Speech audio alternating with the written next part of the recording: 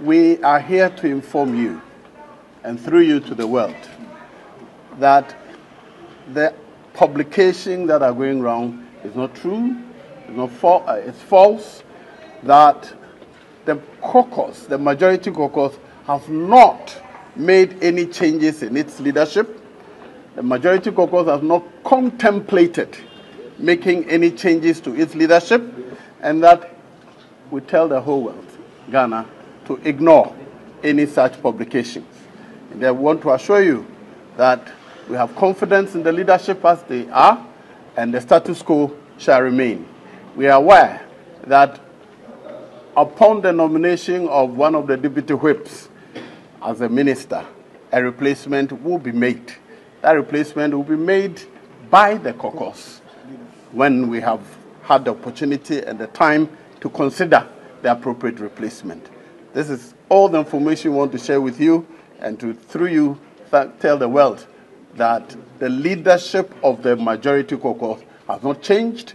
We have not contemplated any change, and we do have no intention to um, effect any changes in the leadership of the majority caucus.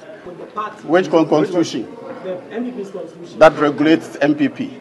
The Parliament of Ghana has adopted standing orders which places the selection and, and change or otherwise of leadership in the hands of the caucus and not anybody outside Parliament. new standing order. Why do we why do we not see the current leadership of the majority doing the press conference as it is now? But it's you. They are busy in the chamber and it's about them. It is about them. The rest of us must stand up for them. They have led us effectively and efficiently, and the rest of us must stand up for them.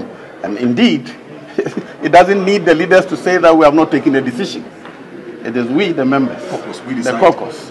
We have not taken any such decision. We are not contemplating any such decision. Mr. Speaker, is there an external attempt to remove or say Chairman Sabons, you are Speaker of your, uh, the leader of your group? I'm not aware of any such thing. Nobody has discussed that with the caucus.